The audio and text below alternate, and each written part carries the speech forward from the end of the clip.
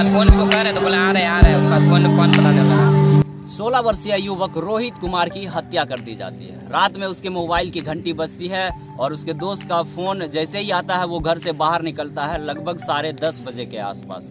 रात भर उसके परिजन इंतज़ार करते हैं बेटे के घर लौटने का, लेकिन वो घर नहीं लौटता। सुबह उसकी खबर आती है कि रोहित की हत्या करके गंगा किनारे फेंक दिया गया। आप इस समय देख सकते हैं, इधर आ, ये रेसिडेंशियल एरिया है और आप हमारे सामने ये देख सकते हैं ये रास्ता है दीघा से डायरेक्ट इस जगह पे आने का। अभी हम सीन ऑफ़ क्राइम पे मौजूद है। यही वो जगह है जहाँ 16 वर्षीय दसवीं का छात्र रोहित कुमार जो इस बार दसवीं की परीक्षा में बैठने वाला था उसकी हत्या करके इसी जगह पर फेंके- गया था।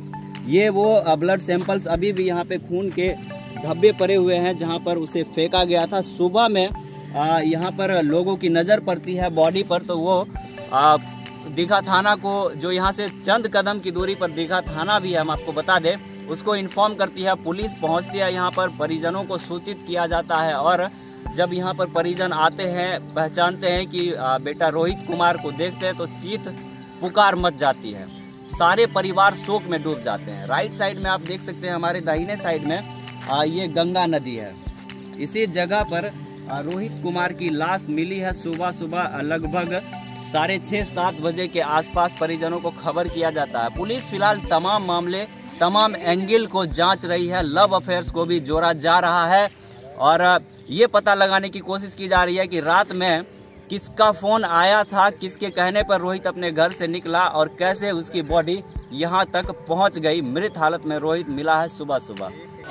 बुलाते शायद हम सब टीवी देख रहे थे उस रूम में पढ़ रहा था। हाँ। पढ़ रहा था तो कोई फ़ोन आया होगा तो गया होगा। उसके बाद फ़ोन था? हाँ? किसका फ़ोन था? तो कि फ़ोन तो किसी का आया होगा हम सब उस दूसरे रूम में थे ठीक ना? टीवी देख रहे थे। वो आया था तो चल गया। उसके बाद फ़ोन इसको कर रहे तो बोला आ रहे आ रहे। उसके बाद फ़ोन फ़ोन बताने लगा। अच्छा। क्या नाम है इनका? रोहित कुमार। अच्छा बॉडी कहाँ मिली थी? बॉडी उस लक पे उस तरफ़। बता लगते हैं हम्म। अच्छा क्या बॉडी में गोली मारी हुई थी? हम्म। किसी पर शक क्या? बोल ना दोस्ती यार सब कर सकता है ना। आप लोगों को कब पता चला? हमको सुबह में पता फ़ोन करके बुलाया गया कि नहर में आई है कौन बुलाया? एक लड़का का फ़ोन आया था। अच्छा वहाँ देखा कि भाई का बॉडी था। क्या नाम हुआ आपका? मेरा नाम मेरा नाम राजन कुमार। वो अभी की कोई एग्ज़ाम दे रहा था क्या? हाँ, वो टेंथ का एग्ज़ाम है सत्रह तारीख से। सत्रह तारीख का एग्ज़ाम था। क्या कोई पुरानी रंजिश नहीं रही है कोई नहीं किसी नहीं हम आपको मामले से जुड़ी तमाम अपडेट्स दिखाते रहेंगे। बने रहिए रिपब्लिकन न्यूज़ के साथ। पटना से मैं तनुज मासूम रिपब्लिकन न्यूज़ से जुड़ने के लिए सब्सक्राइब बटन दबाकर चैनल को सब्सक्राइब करें। नोटिफिकेशन प्राप्त करने के लिए यहाँ बेल को दबाएँ। वीडियो अच्छा लगे तो लाइक करें। और दोस्तों के साथ शेयर करना ना भूलें।